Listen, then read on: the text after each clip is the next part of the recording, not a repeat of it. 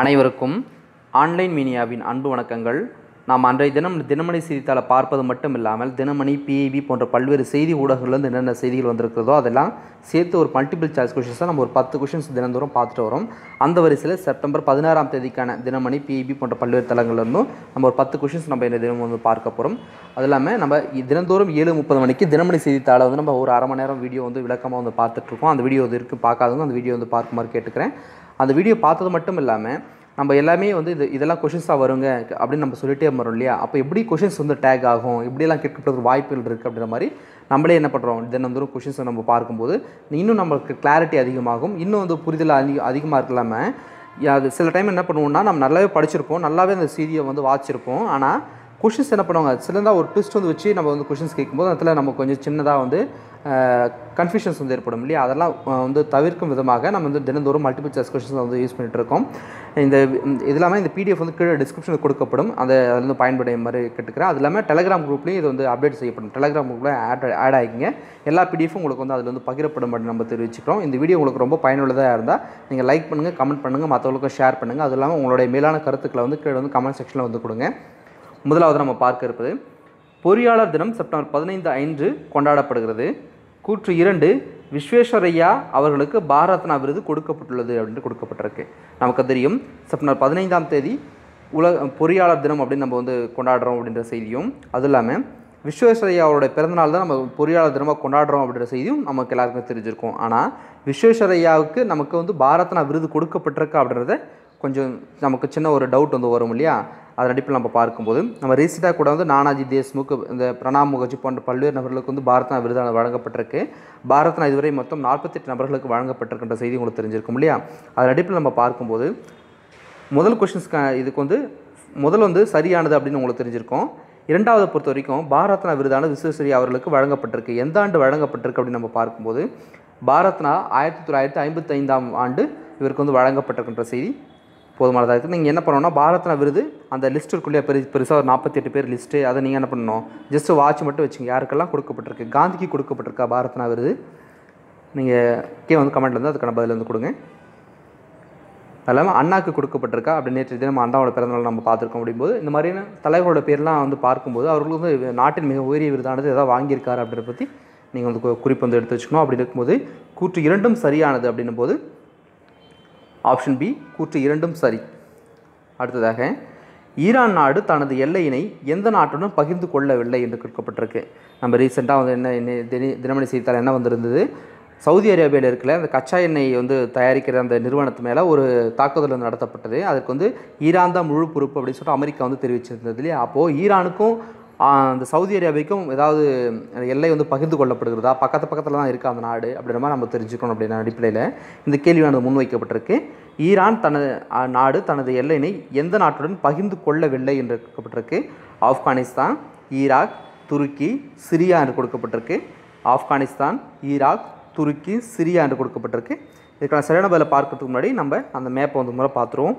இப்போ பார்த்தோம்னா இந்த கலராக இருக்கிறது தான் என்னது? ஈரான் நாடு அப்படின்னு நமக்கு தெரியும். இதில் எப்பவுமே வந்து ஒரு நாடை நம்ம பதிக்கும்போது இந்தியாவை மையப்படுத்தி நீங்கள் என்ன பண்ணி தெரிஞ்சுக்க? இந்தியா இங்கே இருக்குது அடுத்து பாகிஸ்தான் இருக்குது அடுத்து ஆப்கானிஸ்தான் இருக்குது பாகிஸ்தானுக்கும் அடுத்து என்ன இருக்குது ஈரான் நாடு வந்து அமையப்பட்டுள்ளது அப்படின்ற செய்தியும் அது இல்லாமல் ஈரானுக்கு பக்கத்தில் ஆப்கானிஸ்தான் வந்து இருக்குது டர்க்மெனிஸ்தான் இருக்குது இது வந்து அஜர்பைஜான் அப்படின்னு ஒரு நாடானது இருக்கிறது ஈராக் நாடானது இருக்கிறது. அது இல்லாமல் இங்கே லேண்டில் வந்து குவைத் என்ற நாடானது அமையப்பட்டுள்ளது அதுக்கப்புறம் வந்து கல்ஃப் இருக்கு இல்லையா? கல்ஃப் க- இந்த இந்த கடல் அது. அதுக்கு அப்பு- அதுக்கு அடுத்தபடியாக சவுதி அரேபியாவானது அமையப்பட்டுள்ள ஒரு செய்தியும். அது இல்லாமல் இந்த இந்த முக்கில் தான் இருக்குது ஹோர்முஸ் ஜலசந்தி அப்படின்னு ஒரு ஜலசந்தியை நம்ம முன்னாடியே பார்த்துருக்கோம். அதுவும் இல்லாமல் இந்த இந்த மைய இடத்துல இந்த இடத்துல இருந்து என்ன இருக்குன்னா இந்த சாபஹார் போர்ட் அப்படின்னு ஒரு போர்ட்டானது இருக்கிறது. அது வந்து இந்தியா தான் இயக்கி கொண்டு இருக்கிறதுன்ற செய்தி உங்களுக்கு தெரிஞ்சிருக்கும் இல்லையா? ரொம்ப முக்கியமான ஒரு போர்ட்டும் கூட. அப்போது நம்ம அந்த அந்த போர்ட் வழியை நம்ம என்ன பண்ண போனால் இதுக்கு முன்னே பாகிஸ்தானை நம்பி தான் இருந்தோம். இங்கே சென்ட்ரலில் இந்த இந்த ஏஷியன் கண்ட்ரிஸ்க்கெல்லாம் நம்ம வந்து எக்ஸ்போர்ட் பண்ணுறதுக்காக ஆனால் இப்போ என்ன பண்ணுறோன்னா கடல் வழியாக வந்து இந்த வழியாக வந்துட்டு நம்ம என்ன பண்ணுவோம்? சாபகார் துறைமுகத்தின் வழியாக இந்த பாகிஸ்தானை பைபாஸ் பண்ணிவிட்டு நம்ம என்ன பண்ண முடியும்? மற்றவங்களோட நம்ம வர்த்தகத்தை வந்து மேற்கொள்ள முடியும்ன்றதுனால இந்த சாபகார் துறைமுகம் ரொம்ப ரொம்ப முக்கியமான ஒரு செய்தியாக இடம்பெறுகிறது. அப்போது இதிலிருந்து பார்க்கும்போது ஈரான் இங்கே இருக்குது சவுதி அரேபியா இங்கே இருக்குது நம்ம ஆப்ஷன்ஸ் என்ன கொடுத்துருந்தோம்? சிரியா அப்படின்னு ஒரு நாடு இருந்து கொடுக்கப்பட்டது.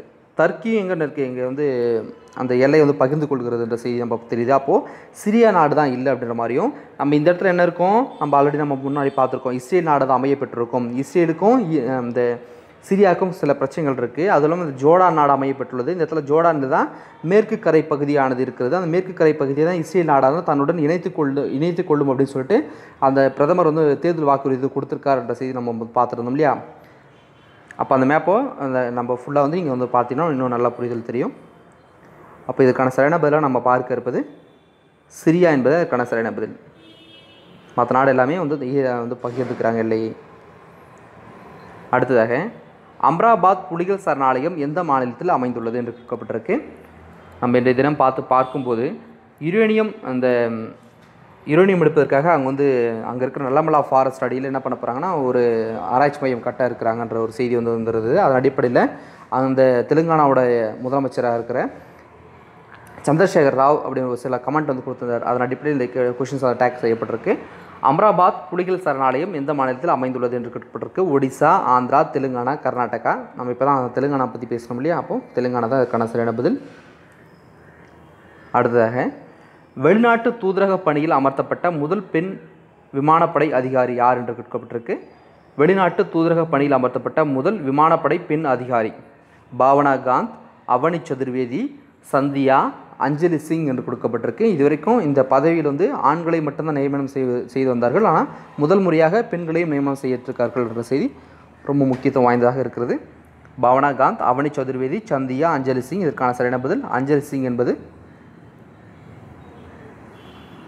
அடுத்ததாக சர்தார் சரோவர் அணை எந்த ஆண்டு திறக்கப்பட்டது என்று செய்தி கேட்கப்பட்டிருக்கு.